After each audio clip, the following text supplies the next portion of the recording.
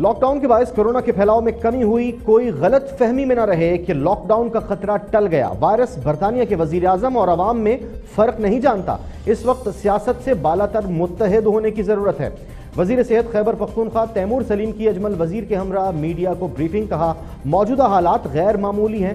Corona और भूख अफलास के खिलाफ जंग लड़ रहे हैं।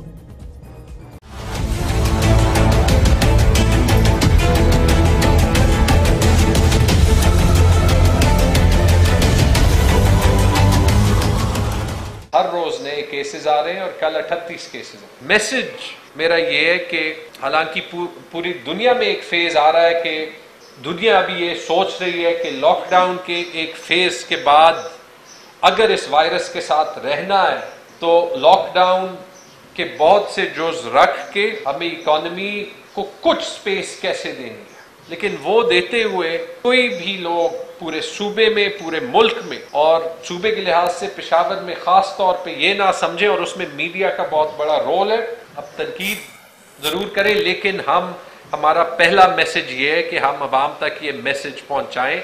एहतियात। कल रात में ट्रेडर्स के साथ बैठा था, यहाँ पे पूरे सूबे की नुमाइंदगी थी, कोई तीन घंटे की हमने मीटिंग की और उन, उनका प्रेशर उनका दर्द मैं महसूस कर सकता हूँ, इसलिए उन एक एक बंदे को सुनो। उसमें ऑब्वियसली ज़्यादा नुमाइंदगी पेशावर की थी और इसलिए थी कि ज़्यादातर हमारी इकोनॉमी हमारा बिज़नेस पेशावर में ही चलता। है उन्होंने उनसे मैंने यही रिक्वेस्ट की, आपके लिए बिज़नेस का रास्ता खोलना है, ढूंढना है।